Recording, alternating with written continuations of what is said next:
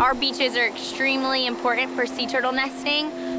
They are some of the highest density nesting beaches for loggerheads around the world.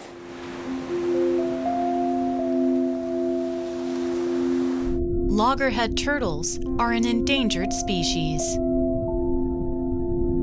They can live as long as 67 years and travel huge expanses of ocean.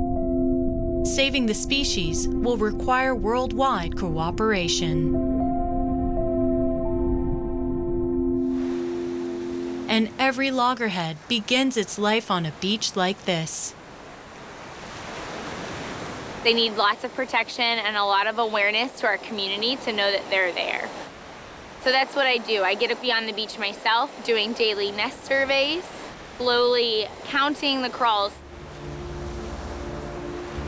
To protect turtle eggs, Kendra Cope and her team look for the telltale signs of nesting turtles, then follow the tracks.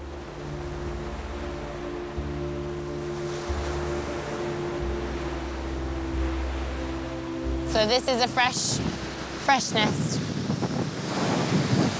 And this are going to be the whitest, at the whitest part of the crawl, knees down in the middle. And should be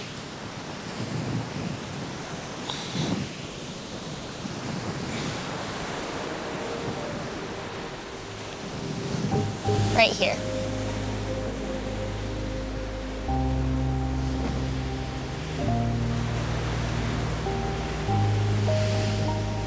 And then once they're found, get a GPS location of that clutch of eggs, and then mark it off with three big stakes around it and with a sea turtle sign.